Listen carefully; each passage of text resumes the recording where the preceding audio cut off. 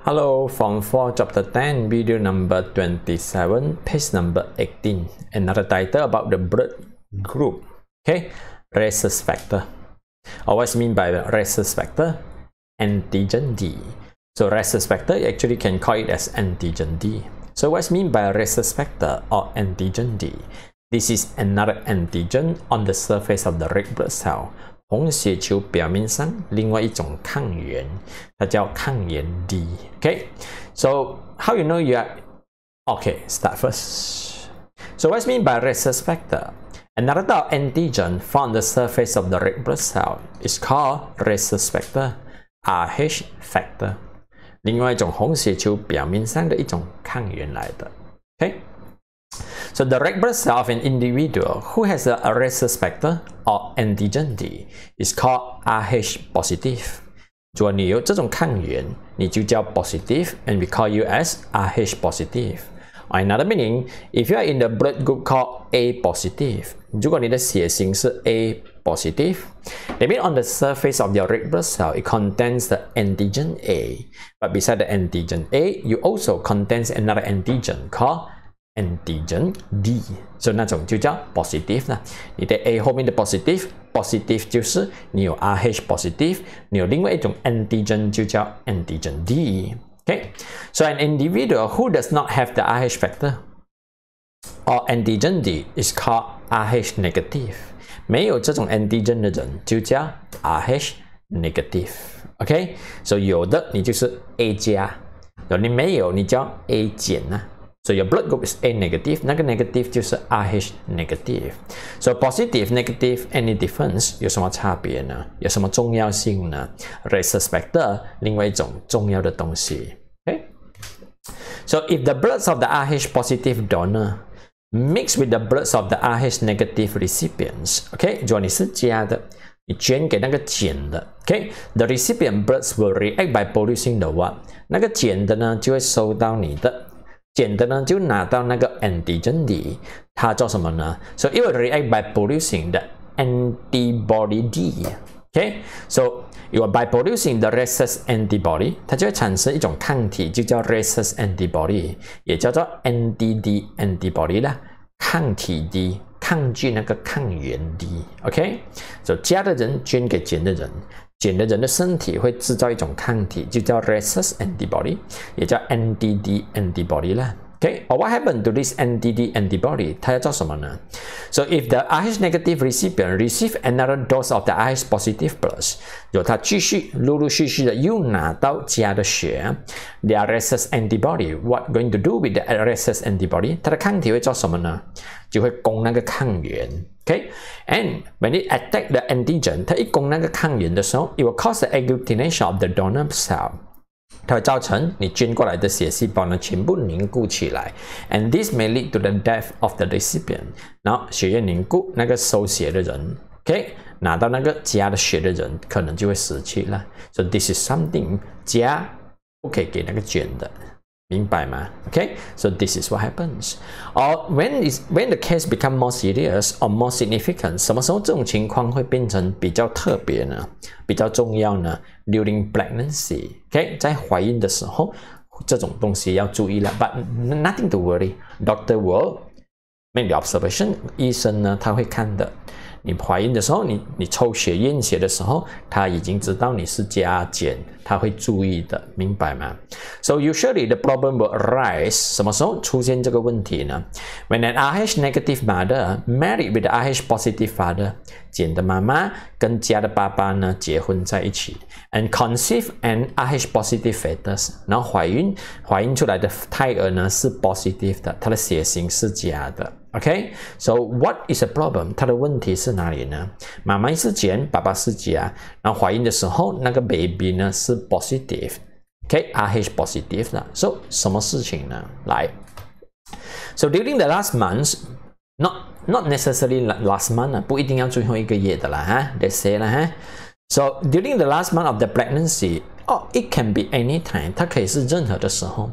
The fragment of the fetus blood cell contains the antigen D cross the placenta and entering the blood circulatory circulation of the mother.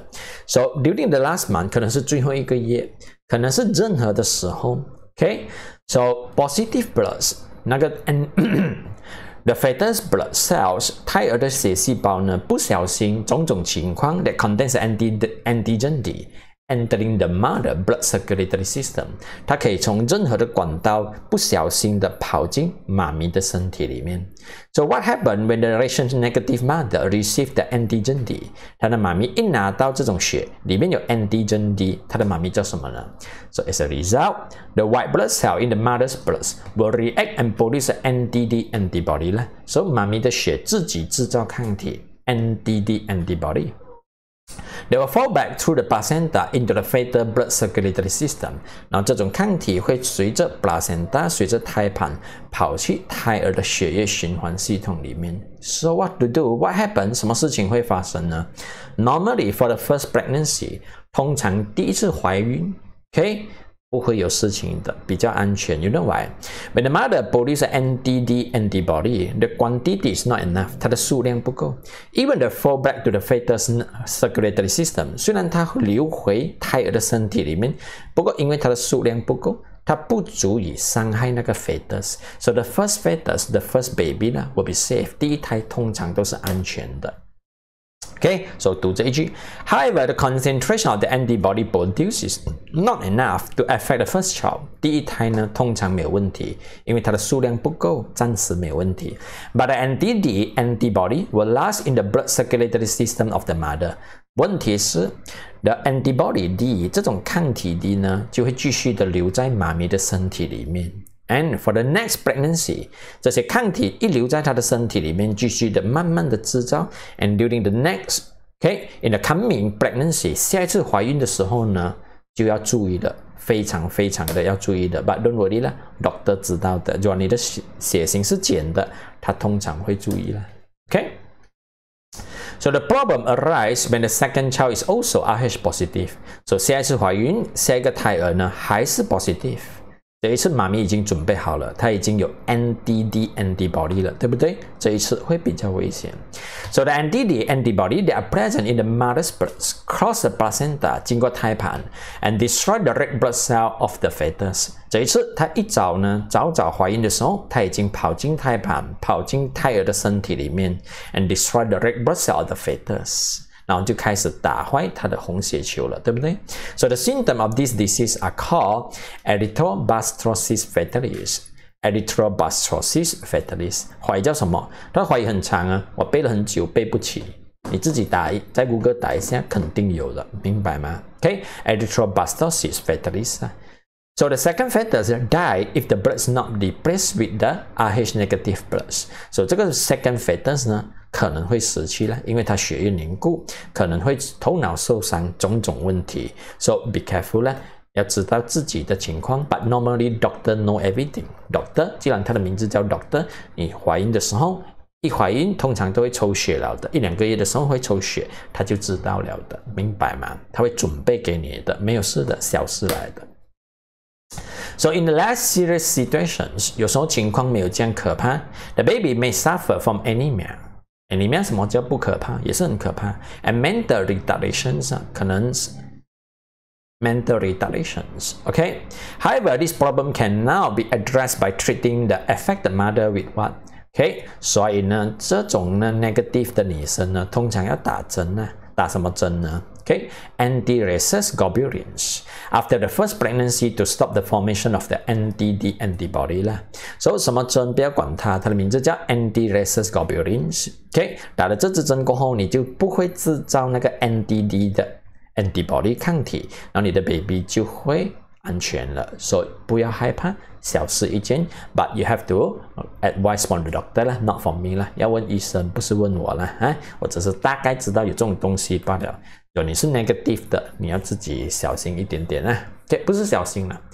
你知道一件这件事情，你问医生一下，Doctor，I'm negative，我是什么东西要注意的吗？Doctor 大概知道的，明白吗？OK，所以没有什么东西要担心的，positive 也不要担心，negative 也不要担心，OK。setter. So this is what we call rhesus factor. 这种情况就叫 rhesus factor. Okay, understand? Bye bye. 谢谢. Bye bye.